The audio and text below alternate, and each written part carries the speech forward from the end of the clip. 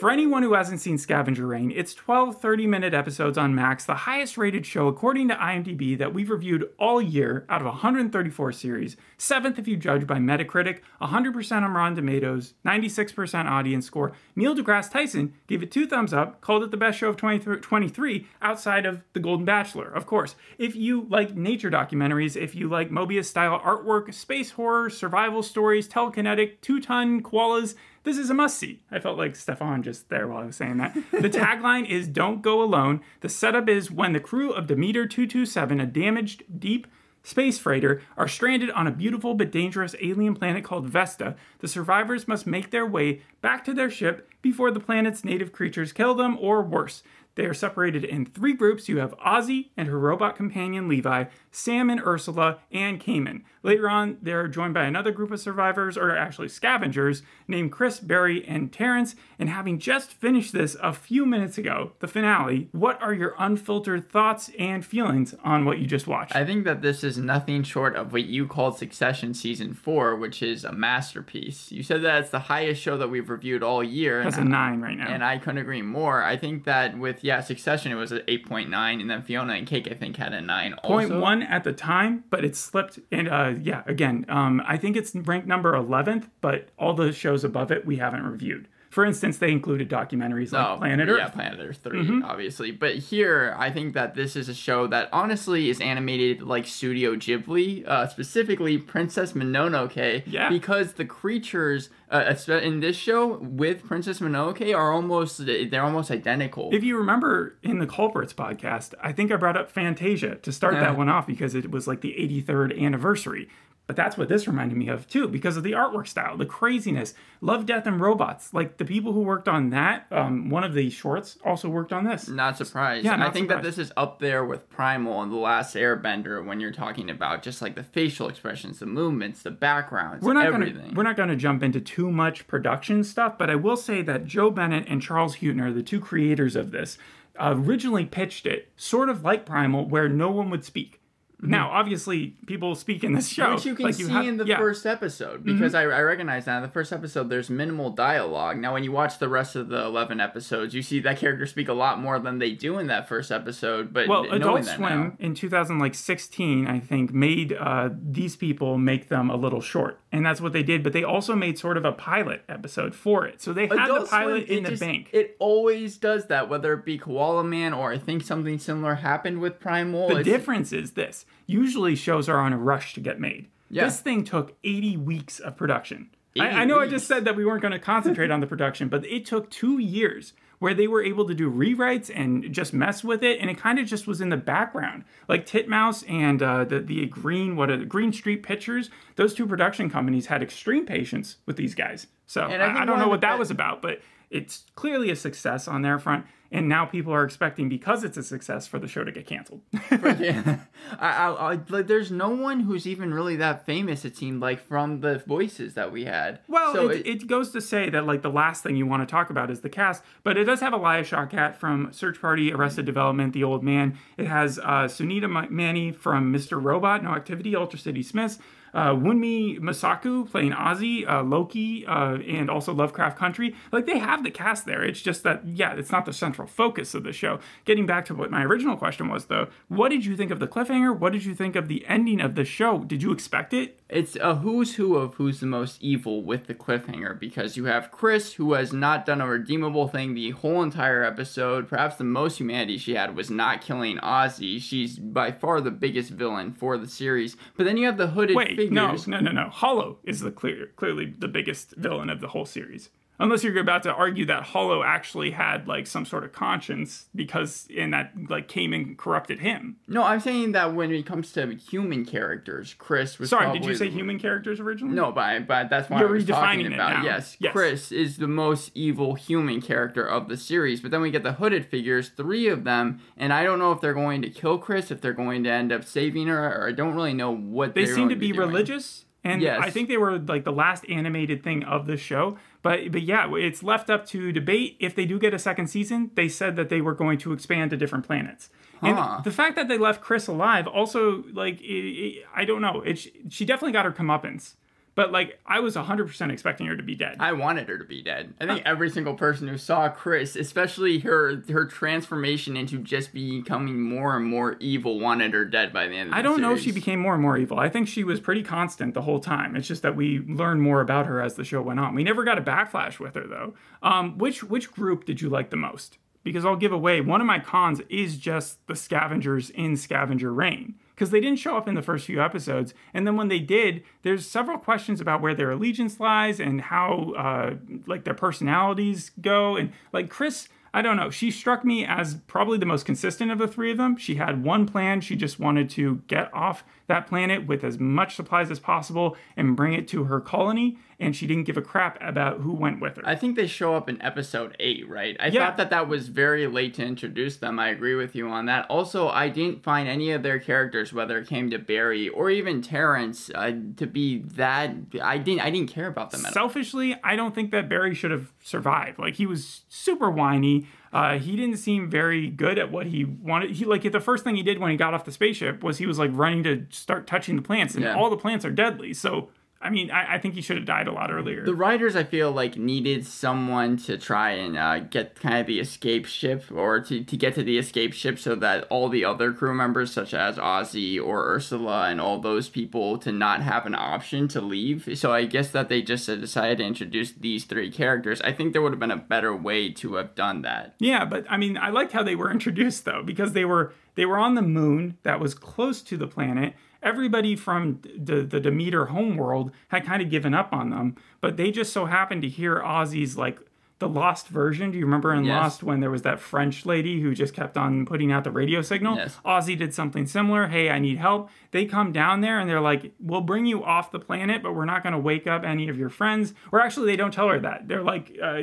"Come on, we'll go to the Demeter together, and then we'll just." Uh, act copacetic but they were clearly lying Yes. that was part of the reason why i was kind of upset with their characters then terrence dies so quickly and Yeah, the episode that he's introduced. was it that episode Yeah, I think it was the same. I thought it was the next episode. No, it was the next episode because it? the first episode they were introduced in um, after obviously just being on the moon was uh, wa- was when their ship was destroyed by the uh, by Hollow. That's right, right, yeah. and that's how it ended, I think. But um, which of the deaths out of all of the people, Levi's death, uh, Charlie's death, Sam's death, Terrence's death, uh, impacted you the most? Sam's death probably because we it, it was the longest death I think that we had had because he was introduced in the first episode and killed at the very end of episode ten. But It was a long time coming, they- though. yeah, because they uh, teased it at the very end of episode six. I thought that was when he originally died, and then it seems like he got better. And then right as he was able to get where they were trying to go the whole season, he ended up just perishing. Well, yeah. I mean, he kept on getting attacked throughout and hurt throughout, right? He Yes. was he was uh,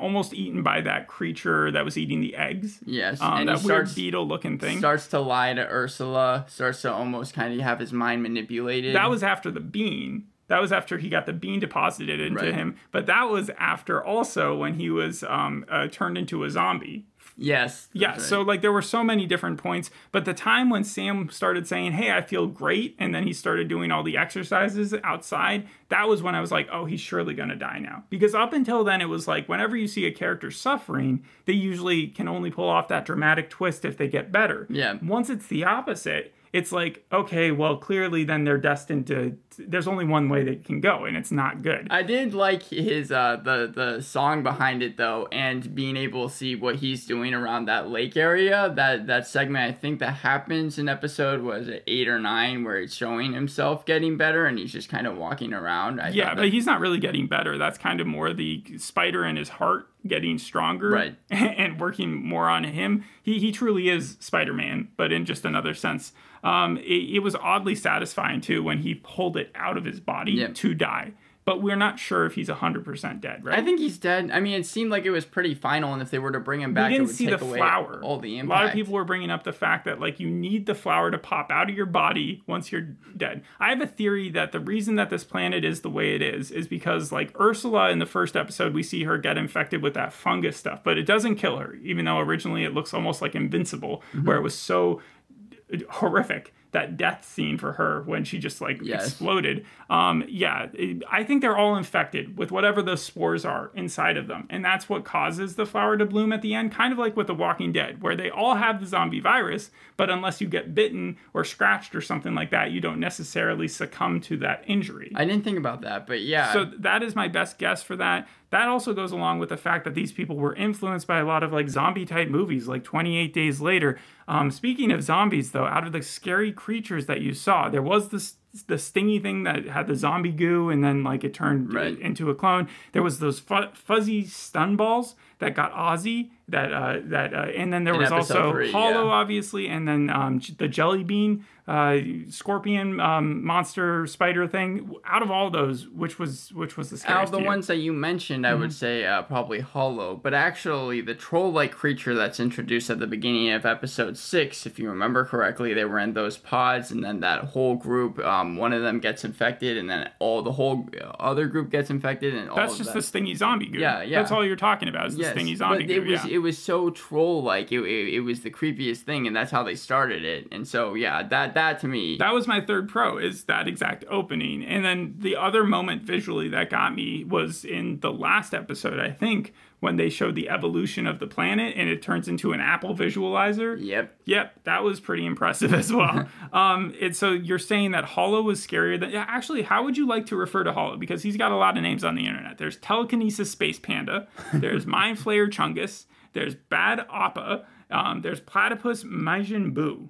Out let's go. those Let's go with Bad Appa. Four. I like that one the most. Oh, I just Bad made that one up. Wait, that was what? out of all of them. That was just a made, a made up one. But yeah, he reminded me first of a koala more so than anything else, and I didn't see anybody else talking about how he looked like. How did he remind you of a koala? I, I mean, he just looks like the way he moves his hands. You know, like he climbs up things, and and he also looked like he had a smooth brain. But clearly, this thing is smart.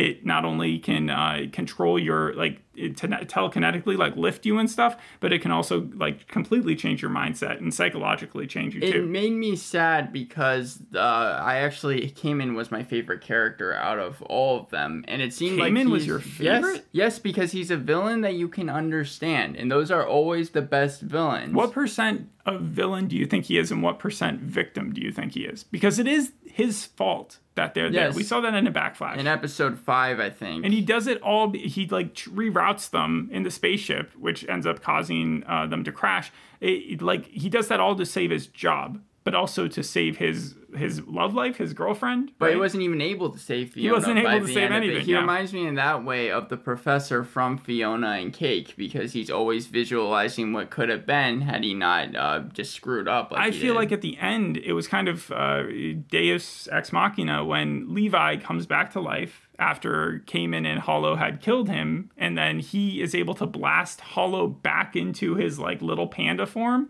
and then the Kamen and him are splintered off. Well, it was strange how they just let that thing leave. Yeah, well, no, because I think the things once it was splintered off, they were no longer parasitic together. No, I understand. Like they corrupted but each why? other. But that thing had done so much damage. It started off just being that small, anyways. Why would they not kill just an evil creature like that? Was one of my questions. I don't know if they wanted to bother trying to kill that thing after it, it had done what it had done. I, I'd be more curious as to why they let uh, Kamen back into like why they didn't put him into cuffs or something. Yeah. like he was. He, even at the end, he found that little green monster that feeds the koala or the hollow, and he took it and he brought it back to hollow. Right. So then, who was your favorite character? uh, probably between Ursula, probably. Ursula. And she was the biggest MacGuffin because I kept waiting halfway through the series for her to like explode into fungus. you thought, you I thought thought that that was, I thought it was definitely still in her, and like I, I was just I could not believe that she had gotten away with it because when they originally showed that, I thought it was a dream sequence where she really didn't survive. So yeah, there was that. Um, and then my other con though about Bad Appa was that uh, he seemed super op at points. Like by the I think eighth, ninth, tenth episode when he's destroying the scavenger ship, Yeah, he seems like he can do anything. By the time we see him at the end, maybe he's just hungry because Kamen hasn't been bringing him as much food anymore. Maybe he just got super overweight, so he's unable to like take on people. But he stops using the telekinesis. he stops using the mental abilities that he has to freeze his prey, and instead he kind of just lets them stab him. Sometimes. If he was as powerful as you're saying he was, probably that chase scene between him and Azi, he would end up winning within like five seconds in that finale. People were also wondering why he didn't just fly everywhere. Like you saw him climbing, and he literally has the power to lift things into the air and, and stop people from falling to their deaths. He was able to do that before he was super strong. So why can't he just he can also crash through metal. You mean blaster? Yeah. Yes. yeah, yeah, yeah. Like he's super strong as well. What were your three pros? My three pros. Okay, so I already said the animation. Even when it comes to something like the intro, it's so simplistic, beautiful, and sad with the string song in the background, and it's only 20 seconds. The music was all one guy, I'm pretty sure. Wow. And also, they were like really intent on doing ASMR type sounds. So, uh, yeah. Calming, yeah, for an environmental effect, I definitely get that. Kamen being the villain, and this show does not care about keeping you on your toes. One scene it will make you laugh, and others it will make you squirm, then scared, and make you sad. I didn't see too much comedy in it. In fact, I was giving the show credit because it didn't feel at all like an adult comedy. Most of the cartoon shows that we get that are adult themed have to rely on being able to just say fuck in a funny way. This was able to swear and able to get through, I think, most of the episodes without having a laugh moment. Well, it, yeah, it's not a comedy show, but there were still moments, like we mentioned Few earlier. and far between. Yeah, but even when it had those, and then also the show got a lot done. Pacing for each Yes, episode pacing. wasn't even a problem. Uh-huh. It didn't heavily rely on cliffhangers or one cool scene to make the episode good. This thing, it- it seemed like every single time you were about to watch an episode, you knew you were going to probably get something. and it never felt like it was lingering on one single character group too much. Like I think that dividing it between three made it not complicated uh, enough to confuse the viewer, but at the same time, it didn't ever like overuse its welcome. Um, they also incorporated the backflashes, which some of them were a little forgettable, but they did it sparingly enough where it wasn't excessive. I it- the passive aggression that the uh, that Hollow was able to put into um, Fiona's character, which was, was crazy. Um, and then you also had Ursula and Chris both didn't get flashbacks that I found interesting, right? Ursula, you would think would have gotten one, right? yeah, she, maybe. she didn't. She didn't. Okay, I, I don't think I wasn't so. sure. Uh, the journeys they embarked on were repetitive. Every single episode, they had uh, the same like antagonist is going to be introduced or scary monster is going to be introduced, and by the end, they're either going to get away with it or part two is going to come up next. Mm-hmm. But I didn't care.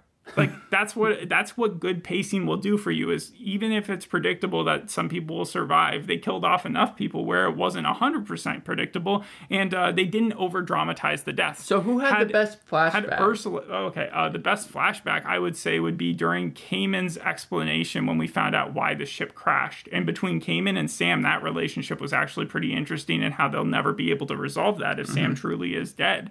Um, and then the focused, uh, balanced way, it didn't feel like part of the season was more weighted than the other. In fact, I think it's episode six, the one that you were talking about, that opening, that did such a great job introducing a new villain without actually having to show us the main characters while doing so. Uh, that's the highest rated one. I think it has a 9.3 right now. Um, and then your other thing was art, right? yes. Yes, that falls. I, I think we have almost the same pros because my first one is pacing, just like your second one was. My first one, is, or my second one, is creativity, which I think is the same as art. Going in, this is a quote from them. We were thinking as much as we could about actual ecology, biology, and what the purpose of each creature was to that ecosystem. So I've seen Planet Three recently, and if you look at the second episode there, and they're going down to those hydrothermal vents, and they're looking at the ocean and the octopus and like all the different sea creatures that you'll never see in real life but like some of them are transparent and and like completely uh, like, the cameras they're using for them to just to show them is pretty impressive but they look exactly like the type of creatures that are being described here or like made here um, and, and then uh, it's nice to also think that not every one of them was there to kill uh, humans. Like a- Yes. a, bunch of them are, but Sam was able to kill that giant hippo thing at the beginning for its like utility. There was also those fish, the like the gura fish that went up and like started eating away the bad scabs that Azi had. So yeah, the like it's a give and take. And also the the characters that have the three I don't know how to describe them. They were green and it was almost like a slinky and that for its face it had three circles. The ones that fed the koalas. that was the hollow. that was the most Princess Mononoke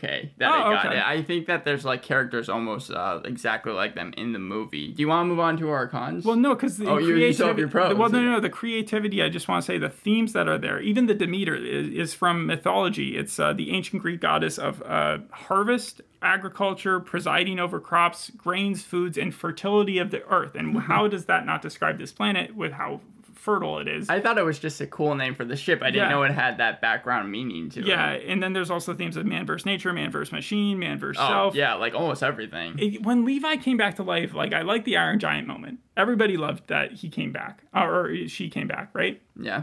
But um, it was like impossible. There's no way that like the, all the creatures came together to make Levi again, and it seems like that world wasn't like it wasn't one mind for that whole world. So it, it was it struck me as odd. I thought that there was maybe just it was a different Levi machine, but then yeah, when you came to learn about it more and more, it And not only that, to be it the can, repro- Levi. it can reproduce now. It's like that was so that was the third thing I wanted to point out when we were talking about the cliffhanger because we already talked about Chris, the hooded figures. Which one is going to be more evil? I feel like Plant Levi is going to be Hollow, Halo, whatever it is on steroids. I think that that is going to be the epitome of evil in this show. Definitely the big bad for the next upcoming season. That's my biggest prediction. Hmm, that's interesting. I don't see. I see them as pretty innocent. But that's but they're I, there to be helpful. But you have to look at the visitors you have on those ship. Chris is evil. Hooded figures, I think we can kind of assume are evil. Plant Levi, I think, is going to be probably the worst because we were able to see Levi's violent side by the end of episode eleven, where she literally squishes things and just blood is like coming from her. Well, no, the blood was from the rope. She recognized the rope that Azi was stuck in, and that's where the Oh, blood came from. Yeah, and so then she went and she uh, destroyed uh, Hollow for her. But they, yeah. but they also know how to fight. I think that the scariest thing would be a Levi replicant like this plant Levi being evil. Hmm. Okay. Uh, I people also like the birds that were able to cook their uh, worms that they were getting with their reflective plumage, the organisms, the creatures, the foliage, um, and then there were certain lines that got me, like uh, when uh, Azi clearly states, "This place, it's like a puzzle. Nothing really makes sense the way we know it." Like that was just right on the money, and uh, obviously meant to be so. But um, yeah, we can transition over into the cons now. Okay, so this is not an easy watch. Every episode is going to be heavy and dark. This is not Fiona and Cake. You cannot binge watch this series. All 12 episodes are usually unhappy, and the good things happen, as you mentioned earlier, far and in between. Yeah, it's six hours long. It's not bad, but it is something that I think should be a note of caution to anyone who just wants to jump into this series. Hmm, okay, so you're saying instead of telling everybody to go watch it at the beginning, I should have said, "But wait, Well, six hours." I'm saying Yeah. that this isn't necessarily a con as much as kind of an observation for number one. That's that's what I add. Yeah, um, my thing again was the scavengers and the way that they were like so sanguine, um, almost zen about the fact that their uh, their their ship had been destroyed, but at the same time seemed very ruthless and aggressive about other tiny things like that microphone that he had. Yeah. Like, why get so angry about that, but not angry about your ship being destroyed? And then also, the, my second con is more of a selfish con, but it's like, why did Sam? Why was he the brunt of like all the bad stuff happening to him? Again, he was jabbed by the egg bug, the clone tree, the seed monster. Like he could not catch a break, and he was supposed to be like the captain of the crew. Azi kind of had it easy, except when she met the scavenger crew. But, Yeah, I mean she was tied up with her hands behind her back and her feet. That's but up that until that point, it was like she was able to coast pretty well along without meeting any of the bad monsters. I did have as my second con the characters Barry, Chris, and to a lesser extent because Terrence, I felt with his death, it did serve at least some type of stakes there. But I didn't. Venus flytrap sort of death. Yes, Yeah. I didn't enjoy watching them, and it just felt like it was lazy writing. They needed someone to be really bad, so they put Chris in that uh, thing, and then to make like the biggest character grow the most, they decided to make Barry have this moment where he's like, "No, I'm going to help save the people," just not, I think, executed correctly. I do feel like you're ignoring Charlie's death, though. Charlie was the guy who just showed up in like episode four, and he found Kamen, and he was being attacked by like, Yes. everything, No, and yeah, he was yeah, all yeah. innocent, and everybody was like, "That would be me." And it's in this planet, I don't think I would have survived 30 minutes. And the and the monsters that he sees when he gets out of the sleep chamber, uh, the two, I guess they were almost like dogs. Those were pretty scary creatures. yeah, barely well. made it out of that, and then he got that mosquito that like sucked out a big portion of his scalp, and then uh, to have the Hollow Monster then twist his neck all the way around because it was so selfish that it didn't want Kamen to have friends, Yep. or whatever its reasoning was. What were some of the other comparisons you had? Uh, so I have Last of Us, WALL-E, Interstellar, and then RimWorld. Surprisingly, I've never played RimWorld, but it also deals with a uh, spacecraft that has crashed onto a weird uh, land, right? Um, spacecraft being like you know, a bunch of rich people who like either decide to go in or yeah, you can crash land there and then you can take a spaceship off the planet. Yeah, I totally see the comparison. The thing I've noticed about uh, uh, survival stories uh, in TV shows or movies, live action ones, is that they tend to stumble. So you have Annihilation, The Walking Dead, The 100, Lost in Space, Terra Nova. They usually start really, really strong, and then the shock and awe wears off, and the story is limited by the budget. Right. With animated shows, you tend to get a lot. Uh, there's a better chance that they'll succeed over time. Like the animation in The Wall for Solar Opposites. Like I know that that doesn't seem like it would be a survival show, but that totally is It the is, reason why yeah. people like to, to tune into that. Fiona and Cake, like uh, you were talking about earlier, Attack on Titan, which just ended recently, um, and Love, Death, and Robots. And I don't think that they wanted to mention Primal too much because they didn't want to draw the complete comparison, but that is a lot of what this show does, especially with the nature yeah. aspect.